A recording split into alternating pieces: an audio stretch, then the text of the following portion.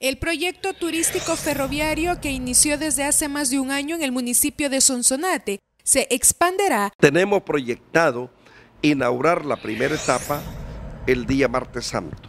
Precisamente nos vamos a reunir con la hermandad con el propósito que ese día que pasa la procesión por las instalaciones ingrese al recinto la imagen de Jesús Nazareno y que con la presencia de la imagen el, nuestro excelentísimo obispo de la diócesis de Sonsonate, Monseñor Constantino Barrera, haga la bendición. Las ventas estarán ordenadas de acuerdo al producto que ofrecerá cada comerciante, para que los turistas tengan mejores opciones al momento de adquirir ya sea alimentos, artesanías u otro tipo de producto. Por ejemplo, Santo Domingo de Guzmán con, con el barro. Eh, por ejemplo, Nahuizalco con el petate.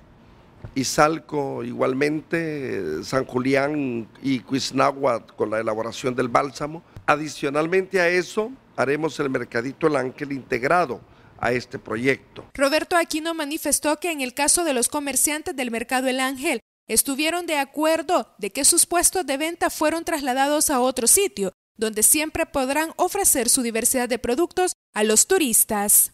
Este es un informe especial de Televisión Sonsonateca para Telenoticias 21, Adriana Andino.